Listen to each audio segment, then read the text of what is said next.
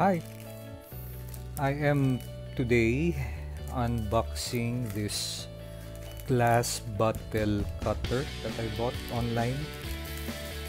So I'm removing this and I hope, just hope that some uh, online sellers would have to do away with too much plastic.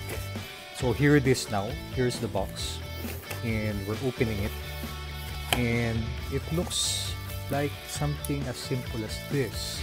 So we have another bubble wrap to remove.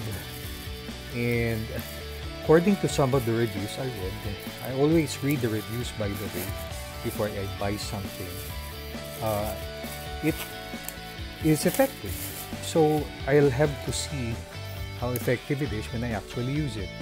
So here uh, I have three things inside the box. So here is the main product. Okay, and then this one looks like a screw driver, a small screwdriver. And I would think I would have to use this somewhere here. How do I know? I'll have to read this manual instructions. Oh, and there's another piece here pala it's sandpaper. So it looks like sandpaper for metal. So we're going to cut a bottle. We're going to try out this glass bottle cutter.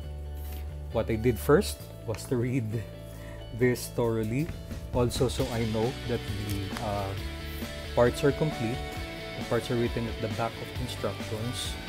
So I think they are complete. And so next I want to know where to cut the bottle. Here's a bottle and I decided I want to cut it at 15 centimeters high. So I, I took out a, a, a, a, meter uh, stick or meter tape. You can use a ruler if you want. But uh, because I decided I want it to be 15 centimeters, I gotta adjust the screws here and here at the same time. But be careful because you want to measure it at 15 centimeters on this side and on this side as well. Otherwise, you might be cutting uh, it uh, unequally. So, ready to cut. So, 15 centimeters. So, we just put the bottle here. The higher end of this cutter, that's where you put the bottom of your bottle and you will notice that on the other end is the cutter itself. See? So that's where the cut will be made. So you put the bottom of the bottle here and then you just push it and turn it to yourself toward yourself. Okay? Just keep turning keep turning keep pushing down. Just be careful that uh, it stays in place. Okay. So we just keep turning, pushing down, turning. You will hear uh, sound, uh, grating sound. That's when you know that something's happening. Of course, you will also see I didn't take off the label of the bottle. So it's the first thing that's been taken away. But now you see that there is uh, a mark on where the cutter or where we're pressing the button to the cutter. So it goes all around. So what you do is just keep pressing and turning. Press and turn. Press and turn. Make sure you use both hands. And what I do is I make sure I don't put my hand on where the cut is being made. I put my hands one on one side and the other on the other side of the cut being made. Okay? Be careful. Alright? So you, you'll notice now I put the cutter on the floor, but so that because this this is a tile, these are tiles. I don't want the cutter to slip while I'm cutting the bottle, so I used a mouse pad to keep it in place. So what it's easier when it's on the floor because I'm now able to uh, naturally push down with my arms in a natural position.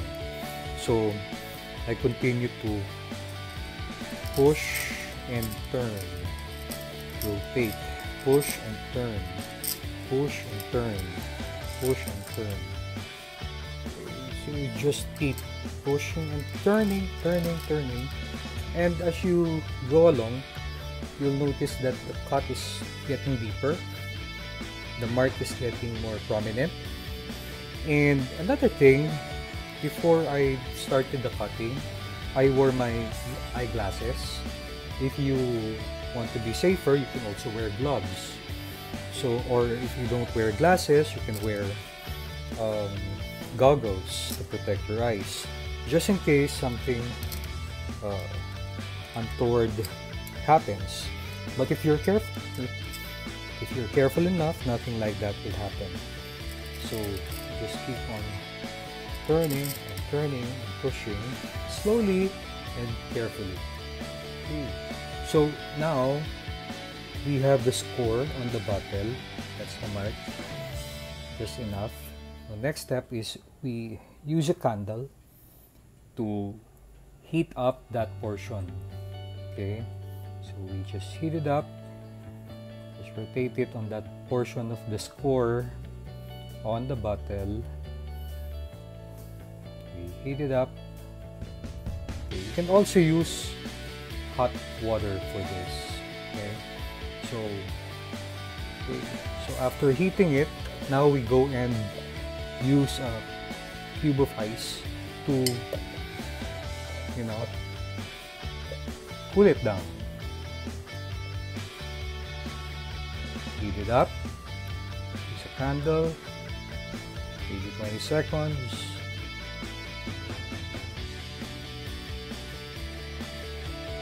Then use ice. Pull it down. Pull it down. Okay. Then you just wipe it a bit. Heat it up 20 seconds heat up at the score. Heat it up. And also use hot water. You can pour hot water on the score instead if you want. Just chose to use the candle now. Okay. And then put it down. Use ice. Cool it down. Cool it down cool it down. If you use hot water to heat it up then you gotta use cold water to cool it down. In my case I use candle and ice.